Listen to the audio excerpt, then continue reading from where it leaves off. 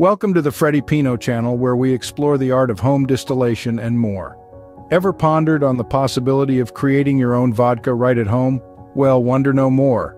Today we're diving into the captivating world of homemade vodka. First and foremost, we'll need ingredients.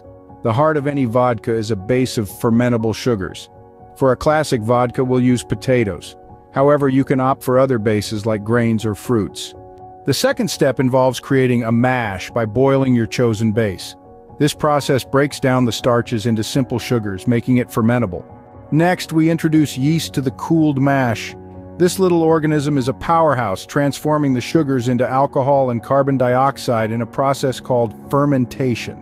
Once fermentation is completed, the fun part begins. Distillation. Distillation is a process of heating the fermented mash to separate the alcohol from the rest of the mixture. This is where a still comes into play.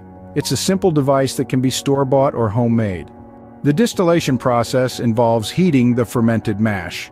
As the mash heats up, alcohol and other substances evaporate, and these vapors are collected in a separate container.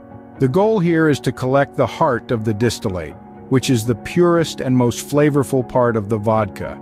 After distillation, we will have a high-proof alcohol. It's time to dilute it with distilled water until we reach the desired strength. Most vodkas are around 40% alcohol by volume, but feel free to adjust to your personal preference. Lastly, we move on to the optional yet exciting part, flavor infusion. Here's where you can let your creativity run wild. From lemon peels to chili peppers, the choices are infinite.